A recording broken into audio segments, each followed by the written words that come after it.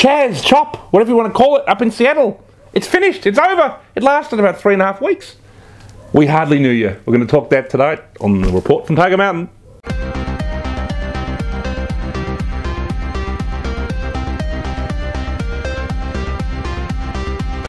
Chaz, we hardly knew you. What happened, ladies and gentlemen? We had it was the summer of love. Apparently, it was going to be the summer of love up there in Seattle, that lovely northern city in America. You know, it was going to be like a paradise. The, the, the Black Lives Matter movement took over about I don't know eight to ten blocks of Seattle, and uh, Antifa moved in there, and all the social justice warriors they all went there to start a wonderful new society.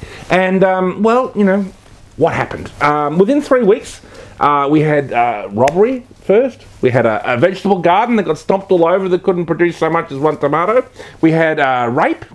Originally, the guy founded. Um, Chaz was a rapist. It was revealed he was some kind of transgender rapist, and he uh, went off and uh, he said he wanted to kill himself. I don't know what happened to him. And then some kind of like warlord, some African American warlord, took over called Raz, apparently, who was arrested recently. We'll talk about him later. And uh, and then there was murders started happening. And um, you know, I think Donald Trump was very wise uh, in a way to let this play out. He knew exactly what was going to happen. He knew within three or four weeks the place would descend into absolute anarchy. There were people being murdered there um, who were like, you know, crying out for the police, and of course there were no police because that was the whole what it was all about. They wanted to get rid of the police. They took over a group, a bunch of land that was near um, a police station in Seattle, and they made it their own autonomous zone. And yes, they had murders, rapes, robbery. It was just all going on. It was just a complete disaster. That's what happens when you get rid of the police, ladies and gentlemen. I think Donald Trump was very smart. You know, he could have sent in the uh, National Guard in there to close it down. He could have, you know, been a, you know, like stomped, stomped on everything, but he didn't do that. No, he, he let it play out, and he knew one day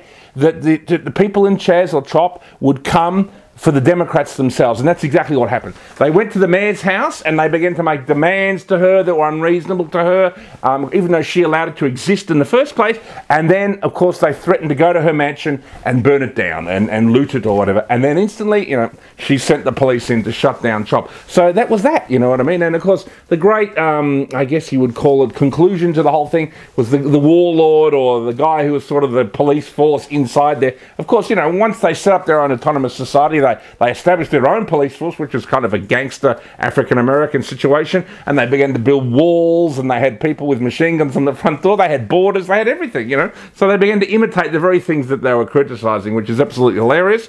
And um, you know, and the guy was being arrested, crying like a bitch as he was being taken off. I don't know what, how much jail time he will get for constructing. Um, uh, an autonomous zone in the middle of Seattle, but I imagine under Donald Trump, um, that's probably going to be life in prison, ladies and gentlemen. So he has good reason to cry because he'll be dropping the soap and having a very good time in his own autonomous zone, which will be his prison cell for the next 30 years. So that was it, ladies and gentlemen. Um, Chaz, it came and went. We hardly knew you, and it was hilarious.